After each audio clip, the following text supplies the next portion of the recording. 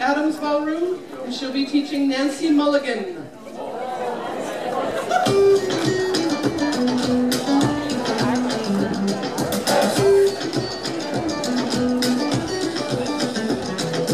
I was 24 years old when I met the woman I would call my own 22 grandkids now growing old In the house that your brother bought you